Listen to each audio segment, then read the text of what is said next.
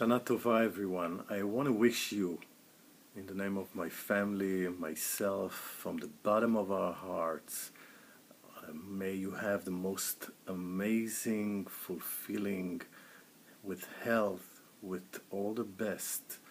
Uh, I want to take also this opportunity to, of course, encourage you to have uh, a lot of music, a lot of music in your heart. Sing with full joy, full heart, come to services and elevates your soul a little bit higher, a little bit with more joy. And this year will be the most amazing year you'll ever have, God willing. Amen.